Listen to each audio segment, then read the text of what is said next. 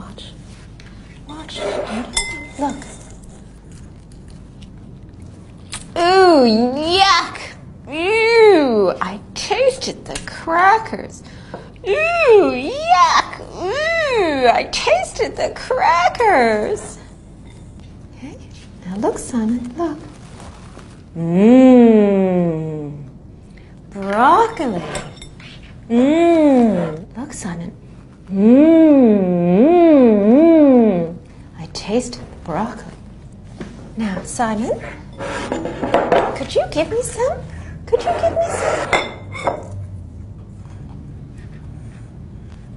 Could I have some?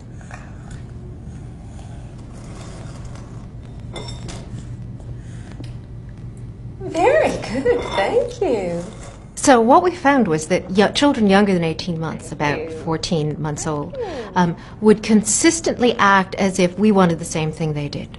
In other words, even though we'd said, yuck, crackers, and yum, broccoli, the children themselves clearly so much themselves liked the crackers, so much themselves wanted the crackers, that they attributed that desire to us too.